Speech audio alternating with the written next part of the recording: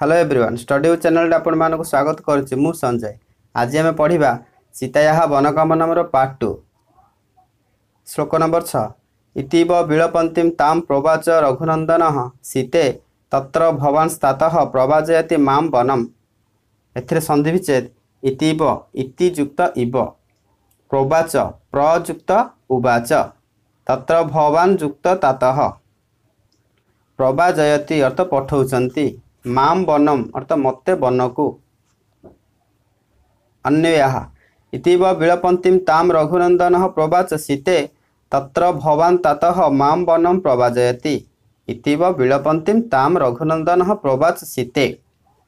ଏହିପରି ଭାବରେ ବିଳାପ କରୁଥିବା ସୀତାଙ୍କୁ ରଘୁନନ୍ଦନ କହିଲେ ହେ ସୀତେ ତତ୍ର ଭବାନ୍ ତାତଃ ମାମ୍ ବନମ୍ ପ୍ରବାଜୟତି।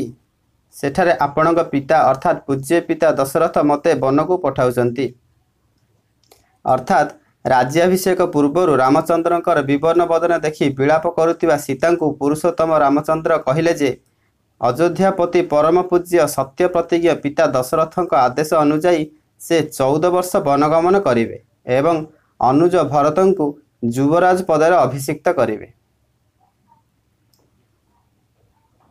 ସାତ ନମ୍ବର। କୂଳେ ମହତି ସମ୍ଭୂତେ ଧର୍ମଜ୍ଞ ଧର୍ମଚାରିଣୀ ଶୃଣୁ ଜାନକୀ ଜେନେଦମ୍ କ୍ରମେଣାଦ୍ୟାଗତମ୍ ମମ ସନ୍ଧି ବିଚ୍ଛେଦ କ୍ରମେଣ ଯୁକ୍ତ ଅଦ୍ୟ ଯୁକ୍ତ ଆଗତମ୍ ଜେନେଦମ୍ ଜେନ ଯୁକ୍ତ ଇଦମ୍ ଧର୍ମଚାରିଣୀ ଅର୍ଥାତ୍ ଯିଏ ଧର୍ମକୁ ଆଚରଣ କରନ୍ତି କୂଳେ ମହତି ସମ୍ଭୂତେ ଅର୍ଥାତ୍ ମହାନ କୂଳରେ ଜନ୍ମ ହୋଇଥିବା ଜାନକୀ ଅର୍ଥାତ୍ ସୀତାଙ୍କୁ ଜାନକୀ ବୋଲି ସମ୍ବୋଧନ କରାଯାଇଛି ହେ ମହତି କୂଳେ ସମ୍ଭୂତେ ଧର୍ମକ୍ଷୀୟ ଧର୍ମଚାରିଣୀ ଜାନକୀ ଅଦ୍ୟ ଜେନ କ୍ରମେଣ ମମ ଇଦମ୍ ଆଗତମ୍ ତତ୍ ଶୃଣୁ। ହେ ମହତି କୂଳେ ସମ୍ଭୂତେ ଧର୍ମଜ୍ଞ ଧର୍ମଚାରିଣୀ ଜାନକୀ ହେ ମହାନ କୂଳରେ ଜନ୍ମଗ୍ରହଣ କରିଥିବା ଧର୍ମ ଜାଣିଥିବା ଏବଂ ଧର୍ମ ମାର୍ଗକୁ ଆଚରଣ କରୁଥିବା ଜାନକୀ ଅଦ୍ୟ ଜେନ କ୍ରମେଣ ମମ ଇଦମ୍ ଆଗତମ୍ ତତ୍ ଶୃଣୁ। ଆଜି ଯେଉଁ କ୍ରମରେ ମୋର ଏପରି ଦୁଃଖାବସ୍ଥା ଆସିଛି ତାହା ଶୁଣ।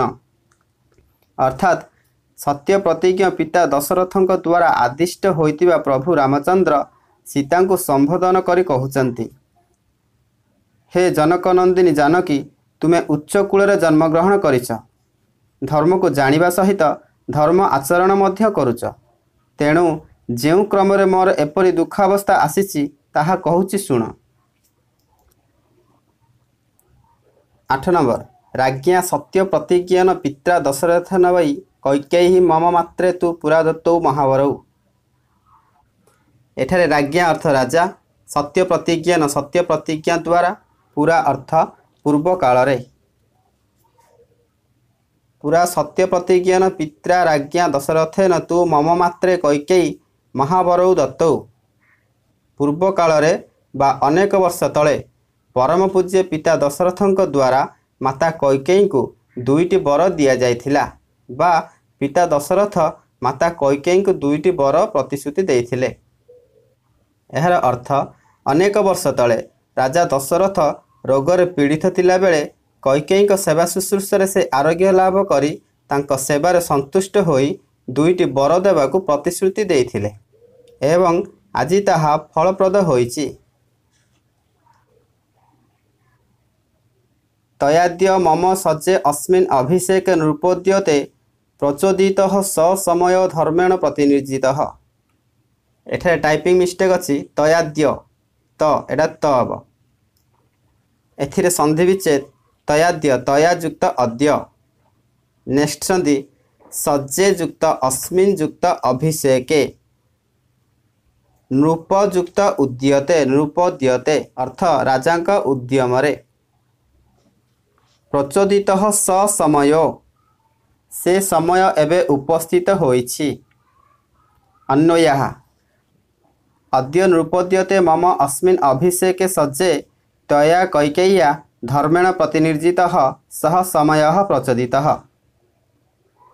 ଅଦ୍ୟ ନୃପଦ୍ୟତେ ମମ ଅସ୍ମିନ୍ ଅଭିଷେକେ ସଜ୍ଜେ।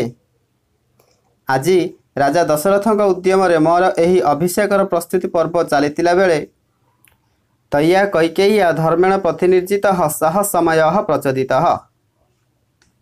ତୟା କୈକେୟୀ ଅର୍ଥାତ୍ କୈକେୟୀଙ୍କ ଦ୍ୱାରା ଧର୍ମଣ ପ୍ରତିନିର୍ଜିତ ସହ ସମୟ ପ୍ରଚୋଦିତ। ଅର୍ଥାତ୍ କୈକେୟୀଙ୍କ ଦ୍ୱାରା ପ୍ରତିନିର୍ଜିତ ବା ସତ୍ୟ ପ୍ରତିଜ୍ଞ ହୋଇଥିବା ଦଶରଥଙ୍କର ସେ ପ୍ରତିଶ୍ରୁତିର ସମୟ ଏବେ ଉପସ୍ଥିତ ହୋଇଛି।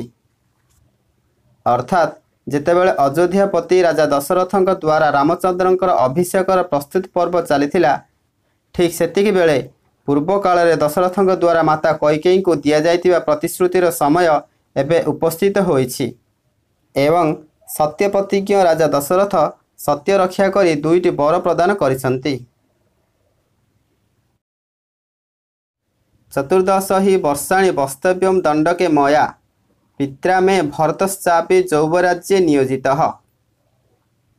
ଏଥିରେ ସନ୍ଧି ବିଚ୍ଛେଦ ଭରତଶ୍ଚାପି ଭରତ ଯୁକ୍ତ ଚ ଯୁକ୍ତ ଅପି ତର ବିସର୍ଗ ଭରତ ଯୁକ୍ତ ଚ ଯୁକ୍ତ ଅପି ବସ୍ତବ୍ୟମ୍ ଅର୍ଥ ବାସ କରିବା ଅନ୍ୱୟାହା